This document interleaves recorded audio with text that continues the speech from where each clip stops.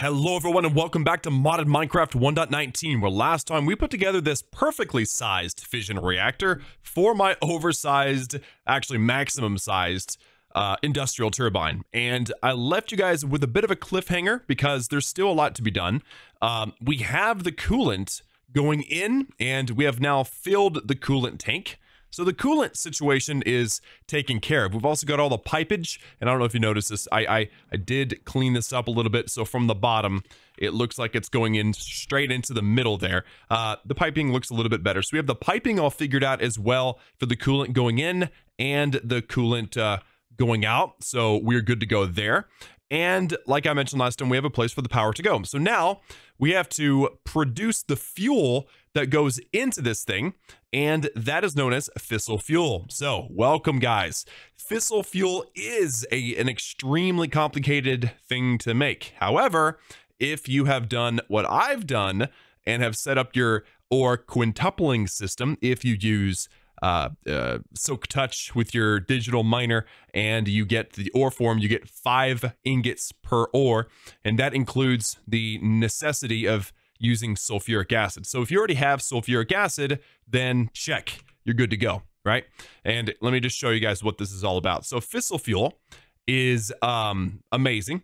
You use fissile fuel and burn, but to get fissile fuel, you have to have uranium hexafluoride in the isotopic centrifuge.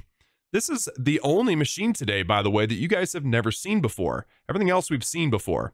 No, there's two. Excuse me. There's two machines. number um, number one of the new machines is the isotopic centrifuge, and it's actually not hard to make. This lead ingots with two ultimate control circuits and a basic chemical tank. So we'll be making that here shortly. Now, after the isotopic centrifuge, or uh, technically before, because we're working backwards, you get your uranium hexafluoride by getting hydrofluoric acid and mixing it with uranium oxide in a chemical infuser. Now, both of those things you've never seen before, but you have seen the necessary ingredients necessary to make hydrofluoric acid, and that includes your sulfuric acid. So that is where that comes into play, and you mix it with fluorite um, right there, or the fluorite block, either one, and that is what gives you your hydrofluoric acid. So, uh, backing up again, hydrofluoric acid is not hard to get if you already have sulfuric acid, which we do. The next step is uranium oxide.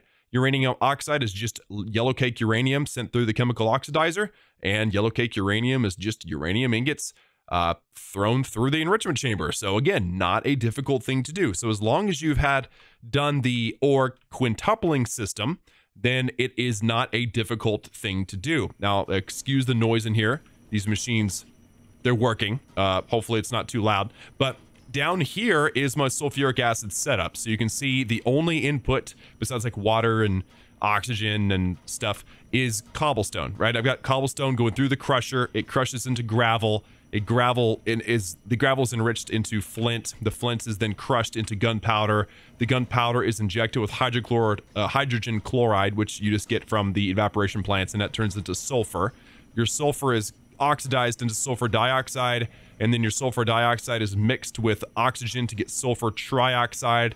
And then finally water vapor is mixed with that sulfur trioxide to get sulfuric acid. If you guys haven't seen the video on that be sure and check it out. All right it's very good. Uh, so that that that cuts a big portion of our, our work off is what i'm what i'm getting at. All right so after that, all right, after that, so we need particular machines. Most of them you've seen before. You've seen a chemical dissolution chamber. I have it in my inventory. You've seen chemical infusers. Uh, you've seen enrichment chambers. You've seen chemical oxidizers. You haven't seen the isotopic centrifuge. So let me go in and craft that baby.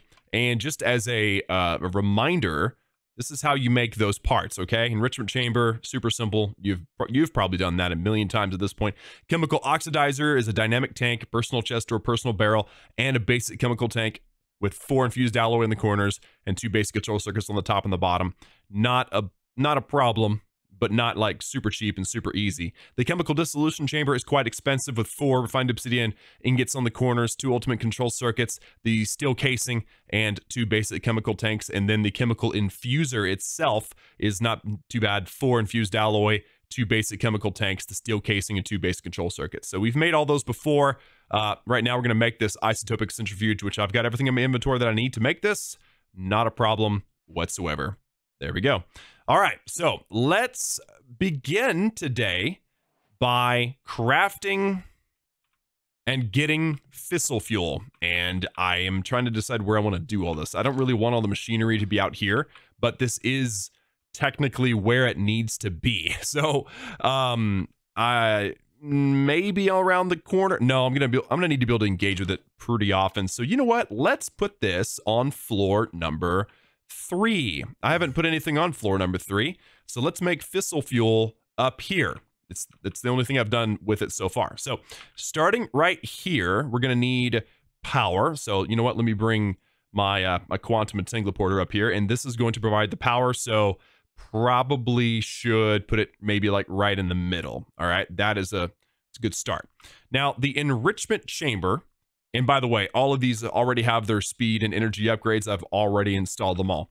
The enrichment chamber is what's going to be receiving the uranium. So um, again, like backing up and reversing course a little bit so that I can show you guys what's going on. There you go. So the enrichment chamber is going to receive the uranium and create yellow cake uranium. And then that yellow cake uranium needs to go into an, a chemical oxidizer to create uranium oxide. So actually, it would probably be good for me.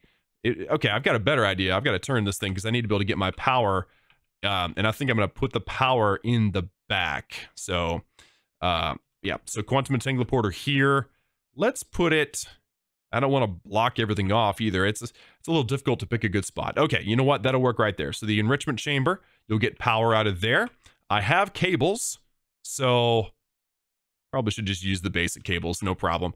Uh, enrichment chamber. Oh, I'm sorry. No, the quantum entangloporter is set to power and power is set to now output everywhere. So this enrichment chamber now has power. The enrichment chamber is going to kick out its uh, yellow cake uranium into this chemical oxidizer. So let's go ahead and throw some power into there. There you go. It is now charging up real nice like and backing up once again. Yes, so after the chemical oxidizer turns the yellow cake uranium into uranium oxide, I need the uh, uranium oxide to go into the chemical infuser. So chemical infuser would be this one here. So we'll set that down just like so. And I also want to give it power. There you go. The chemical infuser, again, will receive the gases. So we'll make sure the gases are set to output on the right, and then it will receive one set of gases on the left. That works. And then actually it's going to be receiving the other gases on the bottom. So, you know, might as well change that up just like so. Very good.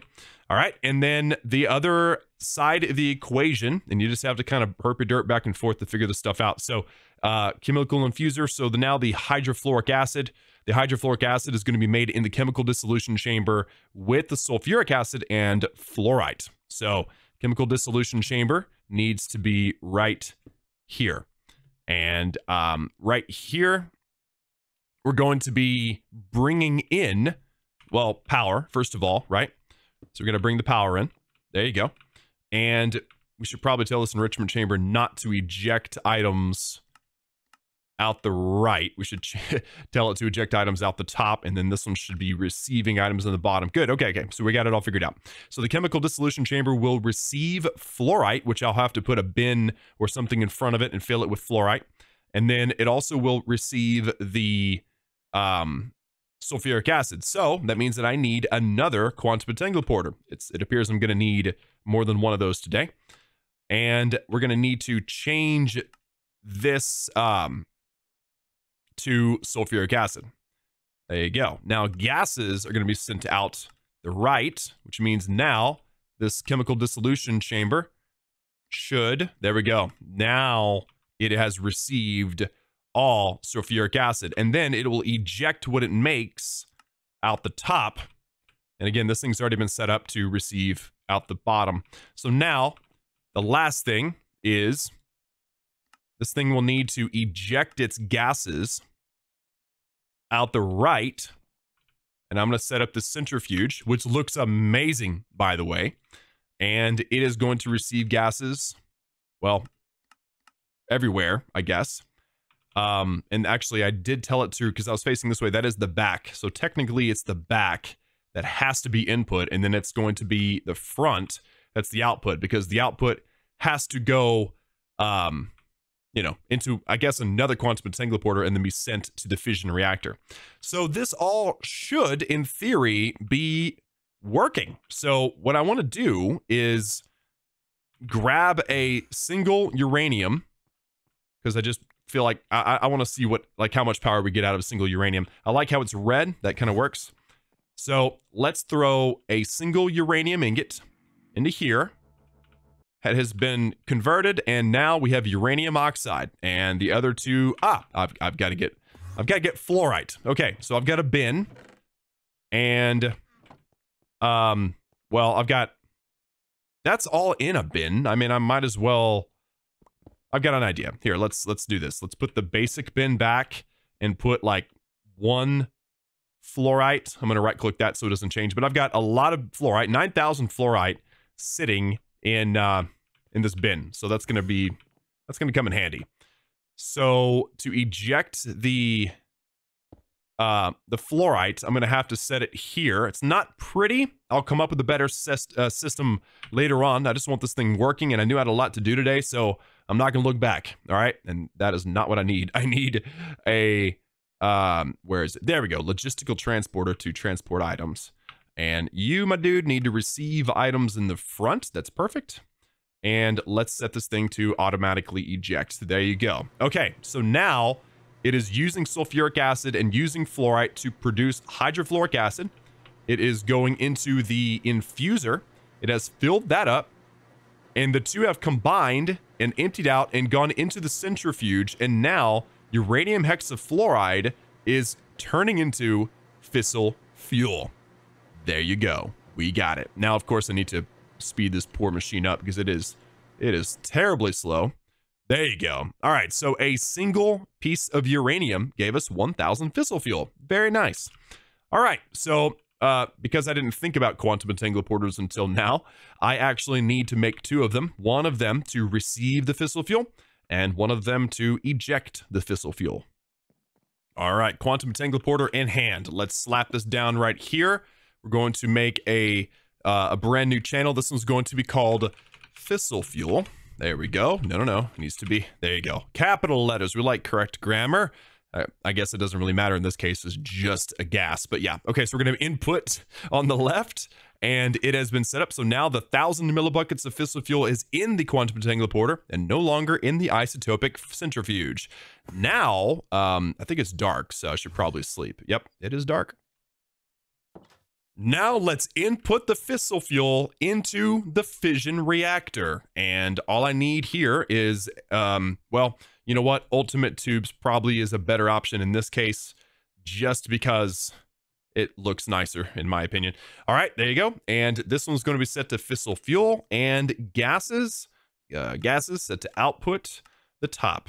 There you go. So now you can see that the reactor has my 1000 fissile fuel and the quantum entanglement porter has none. Perfect.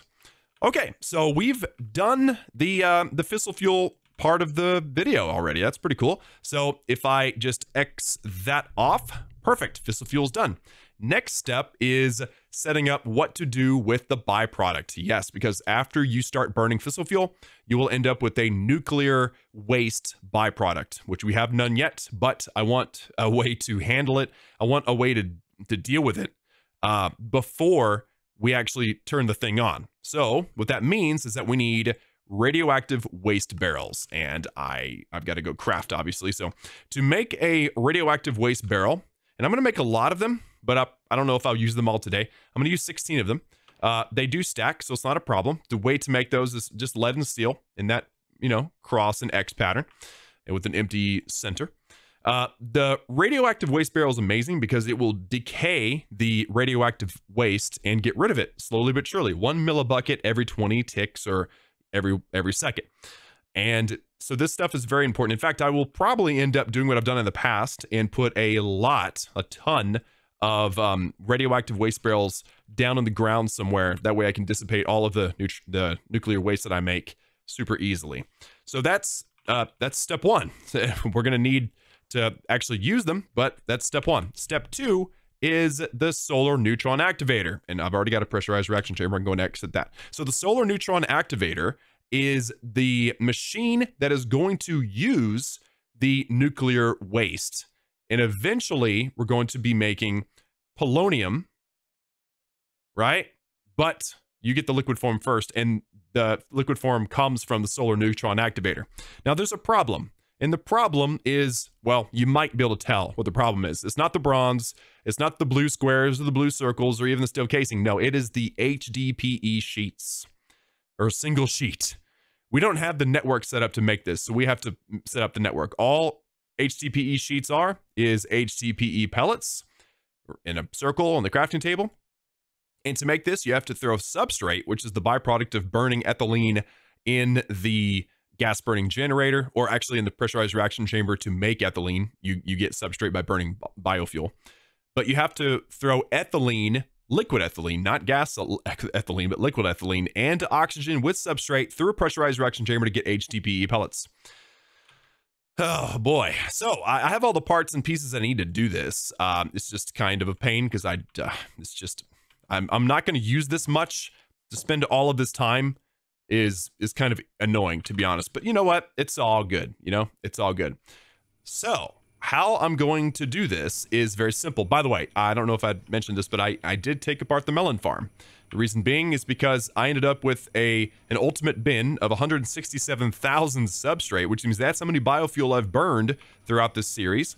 And I still have 32,000 melon slices still in storage. And my ethylene is burning out of an ultimate chemical tank. It had eight eight million or something millibuckets, and it's still a 7.7 million. And I'm processing ores like crazy.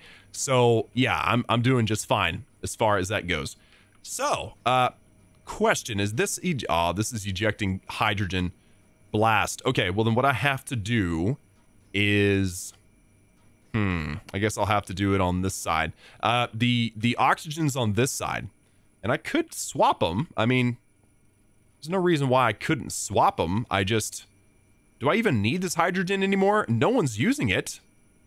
Well, my uh, my jetpack uses this all the time, so I'd rather not take this apart, but I could swap it. If I swap it, then I can just set the pressurized reaction chamber right here, assuming that this ultimate chem chemical tank... Oh, wait a minute. Ah, I just almost fell for my own problem there. Um, I have to send liquid ethylene. Ah, okay. We're good. So I have this rotary condensator here. This thing needs to accept... No. Not hydrogen. Dang it. Okay, I think I've got everything set up to not eject and stuff. In fact, you know what? I'm going to tell this thing not to eject either. Yeah, you just don't eject anything. How about that? There you go. So to, to deal with this, I'm going to have to use this gauge dropper.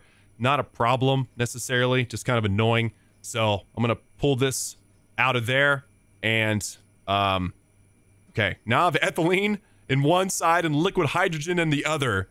And then hydrogen in this gauge dropper. Okay, how do I handle this? I have a uh, hydrogen chemical tank here. I can place this down and slap that down in there. If I dump excess, it gets rid of that hydrogen there. Okay, that's not too bad. I, am good now. So now um, I use this dropper. You guys have seen me use this before. It's amazing. And then select that liquid ethylene there. And there you go. Now we have, uh, or I'm sorry, liquid hydrogen. Now I have liquid ethylene from this rotary condensator, which is 100% maxed out and uh, perfect. So now let's slap down the pressurized reaction chamber. Right? Do I have, do I have, uh, power cables. Yes, I do. Perfect. So slap that down. Uh, I will place the pressurized reaction chamber right here. And this thing should receive the liquid ethylene immediately. You know, yeah, there, there you go. You're set up. You're good. What about this side? You're also set up. Why aren't you ejecting your liquid ethylene, sir? There you go. It was a front input. I, apparently, I forgot that I put the rotary condensator facing that way. So now the pressurized reaction chamber has liquid ethylene. It also needs oxygen, which can be brought out of this thing. So, uh, or, or actually it's that machine, but it's the cleanest way to do it. it is just to bring it around. So let's bring it around. Um, do I really only have three basic pipes? I don't want to have to make more, but I guess I will if I have to. All right, there you go. More basic pipes. I have the ultimates, but I just don't... It seems weird to use that just for this. So, okay. So slap that down there. and tell it to accept gases on the right. And I guess tell this thing to eject gases as well. oh, wow. It's set to output. Okay. Um, are you able to? Great. Now I don't know which side. Actually, this is why this thing is able to do this. Here, let's check this out. I've never done this in a video, but I'm going to select gases, and I'm literally just going to shift right click that that side because I can't tell which side that is because I don't remember which direction I put it um, whenever I set it down, which side I set it down. So to not mess up my input outputs, just manually select it and it, it seems to work. So there you go. Uh, liquid ethylene and oxygen. Let me grab now. Um, let's see. Do we have? Yes, we have a logistical transporter. So I'm going to place this logistical transporter right here. Uh, you don't need to interact with this because you don't deal with items like at all. So I'll just blank that out.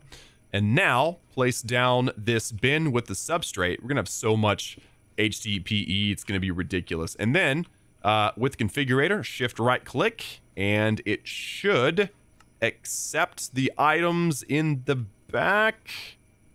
Yes. Yes. Okay. Excellent. Um, there's supposed to be a byproduct here. I, I don't know. What's the byproduct for making... Oh, there is no byproduct. I'm literally just like purifying the substrate into something better. Great. Okay. Well then, uh, I have finished... I have finished setting up the system that I needed to, uh, to get HDPE. So now I can make that one stupid little item I need to make the solar neutron activator. Uh, well, I'm sure it'll come in handy in the future, but that was just annoying. All right, make the circle, get the HDPE sheet, and now I can combine everything to get the solar neutron activator. There we go. Excellent. So now I'm going to shift gears to definitely wanting ultimate machinery because, you know, or not ultimate machinery, ultimate tubage. Is that is that a way to put that? Ultimate tubage because, oh wow, I don't have any more, I don't have any more ultimate tubes. Well, I've got to fix that again.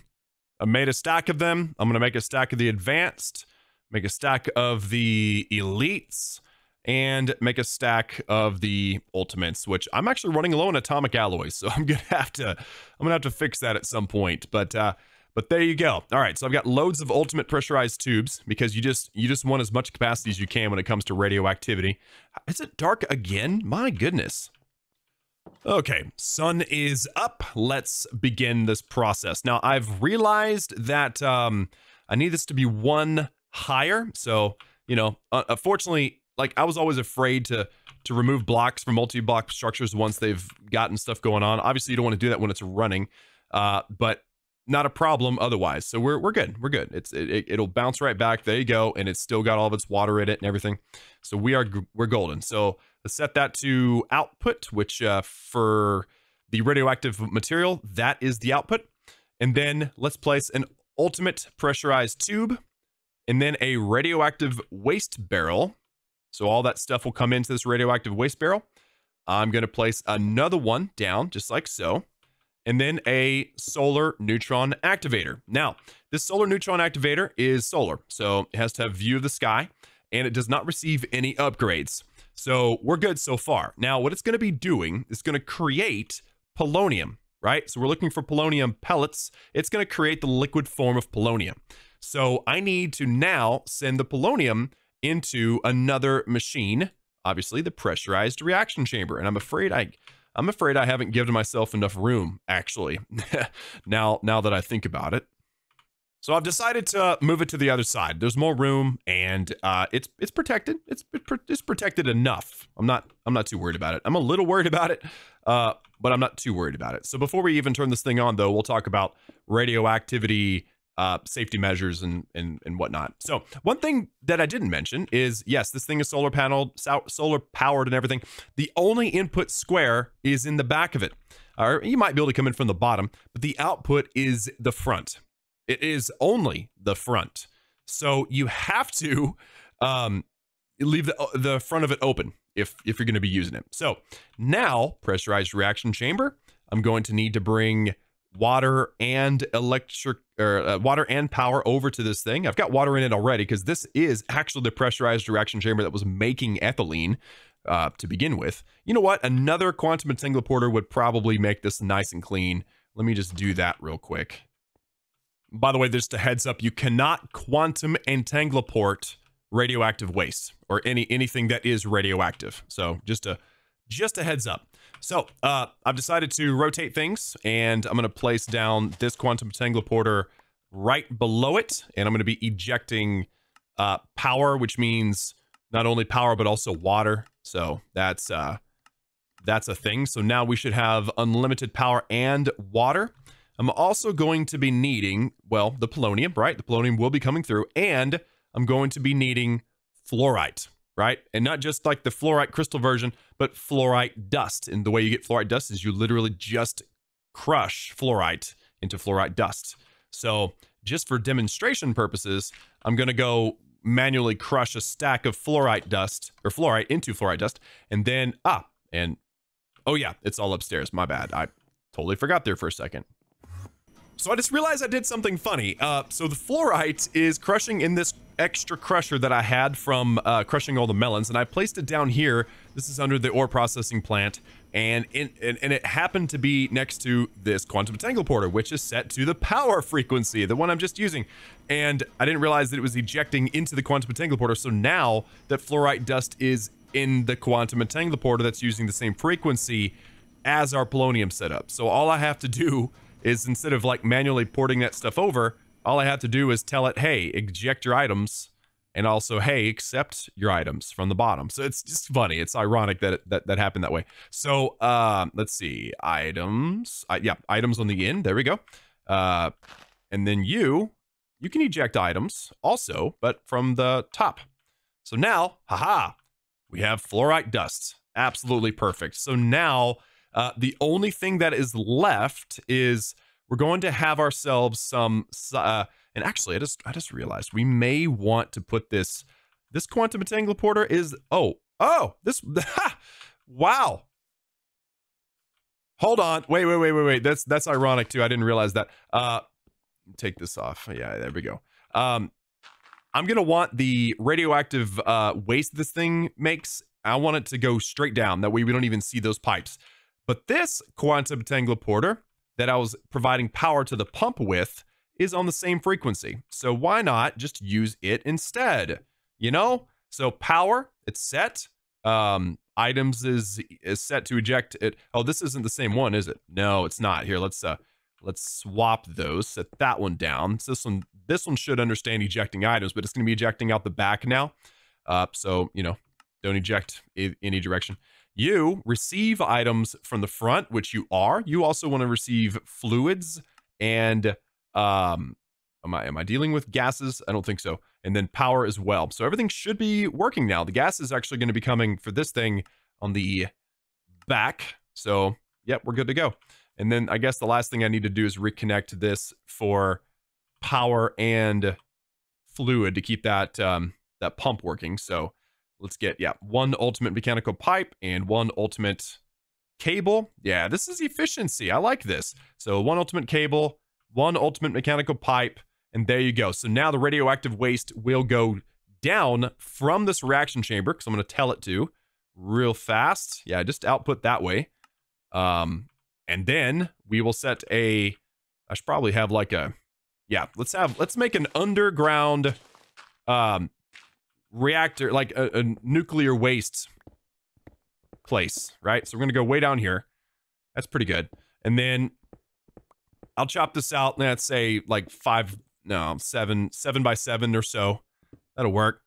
And then, guys, we are ready to pull the trigger. Hopefully, I don't hit any caves or anything, but I think that we are we're in really good shape now to uh to start this thing up, except for one little thing. And what is this? Ah, just a cave. I've been here before, obviously. I just forgot about it. All right, guys. I had 15 barrels, so I just made a 3 by 5 And I brought this uh, tube down from the uh, pressurized reaction chamber. So this should all work out perfectly. So I just connect it all. And what this is going to do is it'll dissipate, like I, like I said, these barrels dissipate the radioactive material, but it will uh, it'll actually divide the radioactive waste among these 15 barrels, making things way better. So now I hope I have a teleporter because if I don't, I do. Excellent. Okay, so I'm gonna just go ahead and place that down just like so, and we're gonna call this one. Uh, let's call this one radioactive because everyone knows what that means. There you go. All right, and to get out of here and into here, I have to have my portable teleporter. So do I have, I could have sworn, that's just weird. I don't know, I don't know what happened there. Um, I, I guarantee you I have a portable teleporter. It just wasn't, uh, yeah, it wasn't in my inventory. All right, so let's let's check out what we got going on. So the fissile fuel is working. The polonium setup is done. I just don't have nuclear waste yet to demonstrate.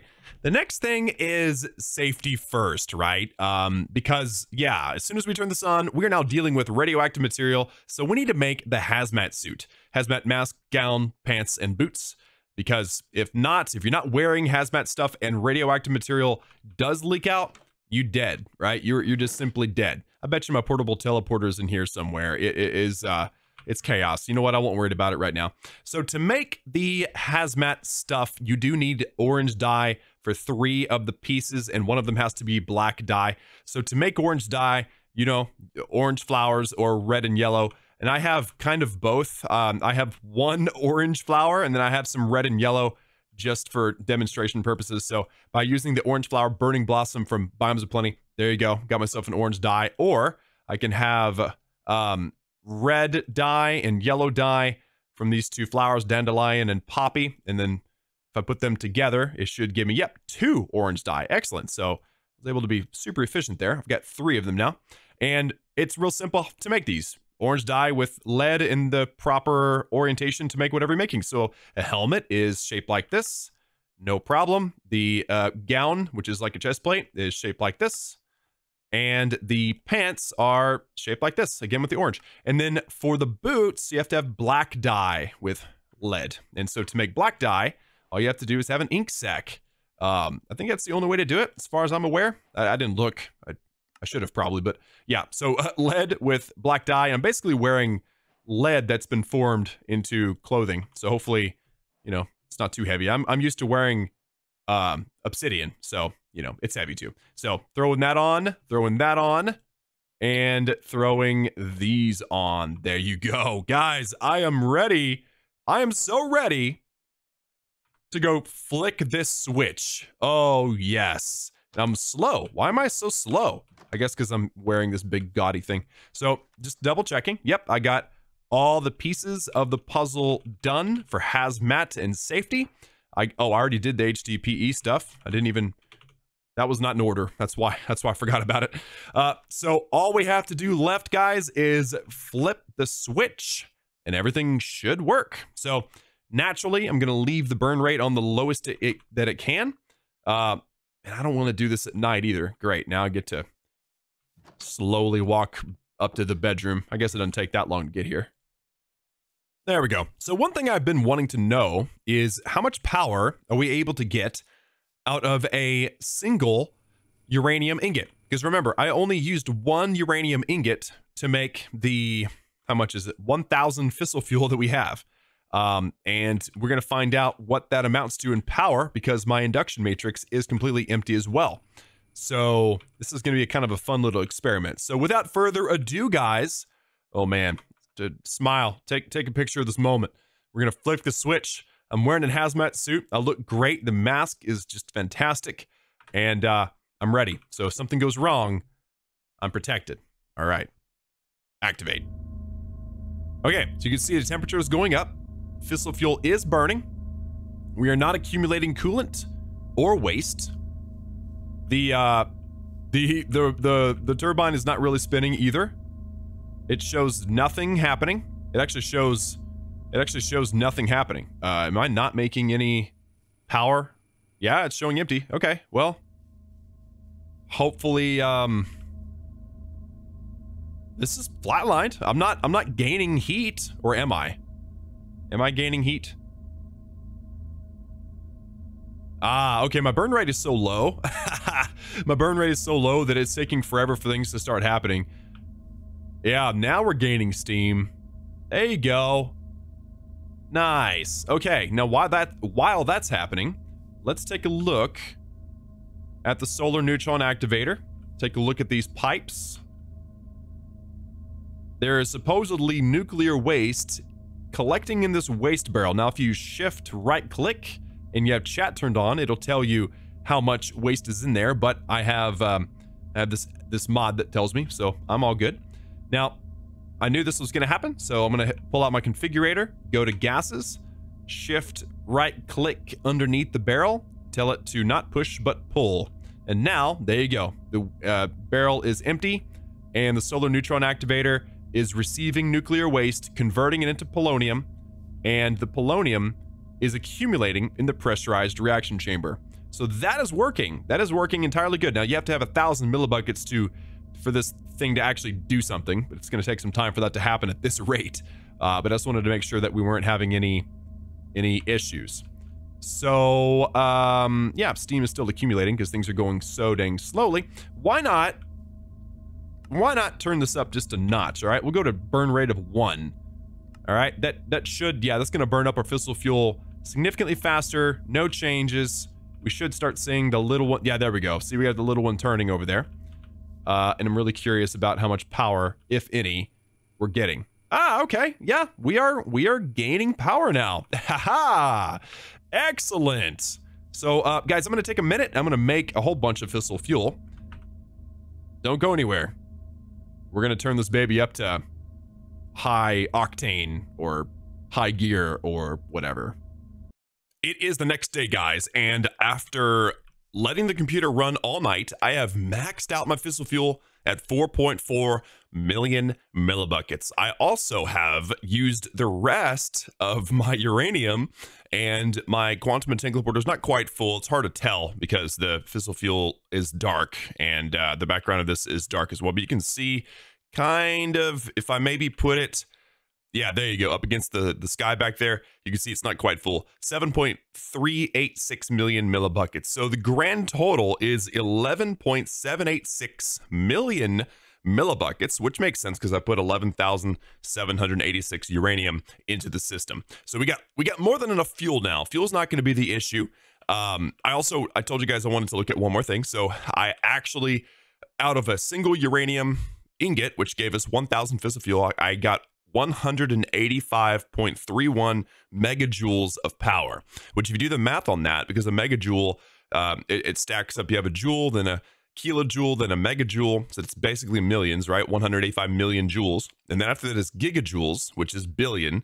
And then you have four terajoules, which are trillion. So, uh, how many times does 185.31 million go into 4 trillion? Well, I've already done the math. It's 21,600. So, what that means is that I would have to have 21,600 uranium ingots transferred into and converted into fissile fuel and burn all of it to fill up that one little block, that ultimate induction cell. So just, that's just kind of crazy to me. Also, heads up, um, I, I believe, I can't confirm this, but um, I took out my a bunch of fluorite to feed into the other system that required it after crushing it, and it is a I think it's a two to one ratio. I think that this fissile fuel machine uses two uranium ingots to one fluorite. I may be off on that, but that's what it looked like to me at the time. So now, guys, are you excited? I'm very excited. Let's turn this thing on and see how high we can get it. So we're right now we're starting at one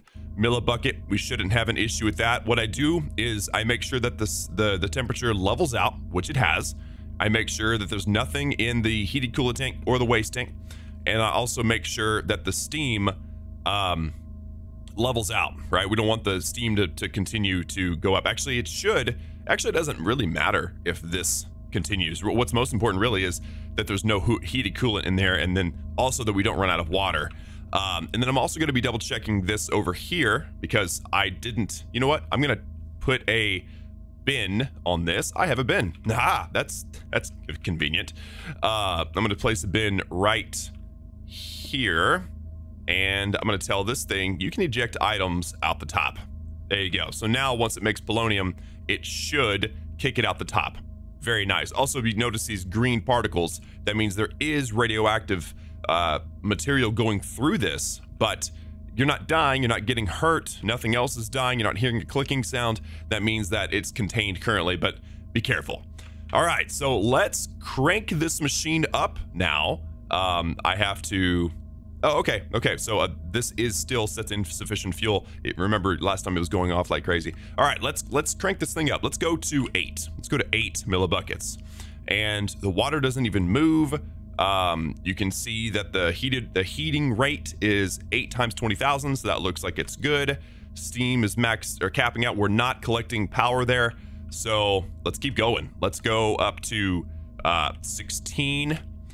And, you know, again, I should theoretically be able to go all the way to 550. Is there a reason to do that? Like, do you need to do that? No, you don't. You don't need ever to burn 550 millibuckets. Like, that's ridiculous. But, you know, hey, why not, right? So, oh, we're, we're not getting power. We're not getting power in the uh, pressurized reaction chamber. You always got to check these things. Okay, so this, so this, um, let me see, quantum entangler You should be, ah, eject out the back. There you go. Okay, now we have power. Uh, and we need we need this thing to eject uh, water as well out the back. Are we good now? Yes. Okay. So this is why you double check everything as you go, because if we, uh, yeah, if it'd be bad. Also, just while I'm thinking about it, this is polonium. You also can get plutonium. Plutonium is another thing that you can get. It's significantly less nece uh, less necessary, but it is something that we'll be getting. So, all right, 32 this time no problems whatsoever. Again, we shouldn't have any problems at all, but again, I, I'm just, I'm being careful here. So let's bump it up to 64. This is, uh, this is pretty fast now, guys. I mean, this, those, those rotors are spinning. They're spinning fast. And now I'm accumulating power. And that's because my pipe is only a one pipe and it can only hold 8 million millibuckets and I'm currently producing 12. So right now I'm accumulating power if I place this pipe just on it, it doesn't necessarily have to be in between. It's just on it. Now uh, I'm not accumulating power in the industrial turbine anymore because enough of it can go through the cables to come into the induction casing or induction uh, matrix. So that's something that we're going to have to pay attention to. In fact, I'm just going to go ahead and place all of these down. Um, that should that should be good for now. So uh, that should actually hold. That should support a burn rate that's pretty high, 200 or so. All right. so uh, water is okay. Water started going down. It started coming back up. That's great. Our fuel is going uh, down. Naturally, uh, we don't have any extra material. Uh, and then I don't have a way to watch my barrels down there, which is a problem. So you know what? Let's do this fast because I don't want to, you know, I don't want to have an issue. So 128. Let's double it. So this this is the number I'm going to be watching because these are still empty and they're not going to come up. So the coolant tank will go down and then it'll start going back up. And as long as it starts going back up, it doesn't hit zero and the temperature doesn't start spiking, we're golden. All right, so we're good here. Uh, power is still not accumulating. Uh, so you know what, let's go again. Two, uh, well, you know what, let's do 192 now. Let's start adding more reasonable amounts. I don't want to be doubling every single time. Okay, and this is why you have to start slowly too, because you could, in theory, cold start this fission reactor to 550, but you don't have enough water. So I'm pumping more and more water into the system to keep it cool. Um, if you're just depending on what you had in the system, you could definitely not uh, cold start it to 550. You can titrate it up because you're adding more coolant, but if you're just going to go with how much is in here plus the pipes, you're limited to a particular number, which I will figure out what that number is and probably just keep it there. All right, so we're good to go there. Let's keep let's keep cranking this thing up. And once I get to Let's let's just say let's just halfway-ish. 256 is not halfway, but you know, halfway-ish. Uh, then I will. I got to go check those tanks down below and uh, make sure that we're not, you know, accumulating too much at once. Um, okay, power is still not accumulating in here. That's good. So those pipes are are doing their job. Uh, water is now on the uptick, and there is um, there's no heated coolant accumulating down there. So we're looking really really good so far. Um, this is um, for some reason. Oh, oh, oh.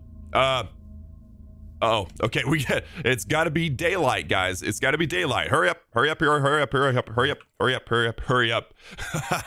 the solar neutron activator does not work at night. So if you are running this and you AFK, bad things can happen, guys. Bad, bad things. Because if that um, if that nuclear waste accumulates too much, then um, you're you're in big trouble. So, all right, this thing is is is producing and uh, using up nuclear waste. So while I'm here, let's go check the radioactive.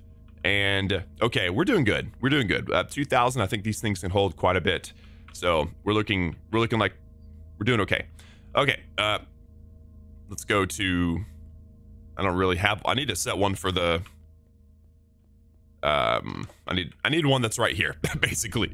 All right let's uh let's let's push the limits on this thing okay? So let's go to 320 and there you go. The water's starting to decline really really fast. Now it should come back up soon. There we go. It's going back up. We're not accumulating anything. The power should start to accumulate now so we got to be fast. Uh let's go to 400 and okay it does not like 400 let's go back down to 320 um, we did that too fast. So theoretically, what we'd have to do is let that pump fill this machine with more water and then crank it up to 400. I did accumulate a little bit of damage because the temperature got too high. So 9%, and it should, in theory, um, recover itself. But I think the temperature has to go under 1000. So this is when a sodium cooled fission reactor would be necessary because sodium fueled is more efficient on volume. Water is not. So uh, I think we might have just about reached this thing's maximum at water, which means I, I have to do sodium. uh, let's try 340. Nope. Okay, so 3, 320. Now let's change to 322. No alarm. 324. 326. 328. 330. 330 is at 1.18. Wow. So we are really pushing the limits here. So 332, uh, 334, 336, 338. Yep, that's it. So 336. 336 is the theoretical limit. I didn't know this. This is new for me. So 336 is the theoretical limit, and it's not theoretical, it's practical here, of this um, fission reactor with water. And uh, so to be able to use the rest of the burn rate, I would have to uh, use sodium. But again, 336 is ridiculous. I mean, look at how many polonium pellets we've made already. 154. Like, that's insane. That's a lot. I mean, we don't really, we're not going to need more than that for a long time. A hundred, a couple of hundred polonium pellets will do everything you need to do in this game. So I've already, I've already gotten more polonium than I really need. Um, and we've not really even dipped into most of our fissile fuel. So this thing has worked very, very well. Uh, I guess the only other thing is the power, right? So I've accumulated 23, 24,000 gigajoules plus 324. So we've we've not even really scratched the surface on the total amount of power that we can get in this machine. So now I can just let this thing run. Um, obviously, I'd have to add more cables to make that thing run better. But uh, yeah, we have found the theoretical max 336 with water. And if I wanted to go higher than this, I'd have to go 334. But everything else worked out. I'd have to go with sodium to go above that. Um, and uh, yeah, everything else has uh, completely worked. It's worked perfectly. So I'm very pleased, guys. Um, I'm going to shut this baby down now. 334 is ridiculous. And watch this. So now once the temperature goes below 1,000, it should start to magically repair itself. Um, I'm not sure. There you go. So from 19 to 18, and now this thing should start emptying out its uh, its its storage that's in the electromagnetic coils up above. And then this uh, should just have a little bit of polonium sitting down below. So we have successfully burned the max rate with water with this fusion, uh, fission reactor. Um, this is something I've never ran into before. I guess they've made some balance changes. So now, if I want to burn higher, I've got to go with sodium. Do I want to do that? Let me know in the comments. I'll get into it if uh, the overwhelming majority of you guys want me to. But I really do think nobody needs to burn higher than 100 millibuckets per tick, and we've we've already cracked 300. So I'm very pleased. I'm happy with how things turned out, and now I've got more polonium pellets than ever. So next episode, we'll be getting into crafting with some polonium pellets, and and that, my friends, is a good time. So thank you so much for tuning in. Hope you enjoyed, and I'll see you all next time.